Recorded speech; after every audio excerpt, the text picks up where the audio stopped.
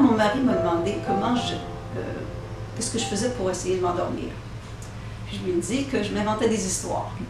Puis qu'à chaque soir, j'en ajoutais un petit bout ou euh, je le reprenais où je l'avais laissé. Donc, euh, dans un long voyage en voiture, à un moment donné, il me dit ben, Raconte-moi-en une de tes histoires. Puis je lui ai raconté l'histoire de Sophie et François.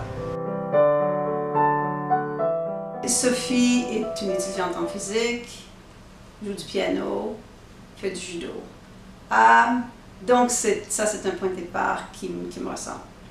Mais euh, ce qui ne me ressemble pas, c'est à quel point elle a la répartie facile. Ça, c'est pas moi. Quand j'y suis allée, le, roman était pratiquement écrit, mais je voulais vérifier certains, faits parce que il y a quand même une certaine limite à ce qu'on peut euh, imaginer à distance. Puis effectivement, il y avait des choses que j'ai découvertes en allant sur place qui m'ont fait euh, faire des changements sur le, livre.